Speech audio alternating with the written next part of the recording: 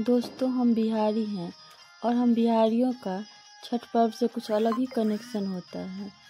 दोस्तों, जहाँ पर पूरा दुनिया में लोग सूर्य को उगते हुए सूर्य को जल देते हैं, उनका पूजन पाठ करते हैं, ऐसे ही हम बिहारी डूबते हुए सूरज का भी आराधना करते हैं।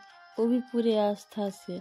छठ एक महापर्व है, जिसमें हम लोग डूबते हुए सूर्य का भी आराधना करते हैं और उगते हुए सूर्य का भी आराधना करते हैं। कहा जाता है कि जिसका अस्त होता है, उसका उदय भी कभी न कभी होता ही है। इसीलिए हम लोग को आस्था बनाए रखना है।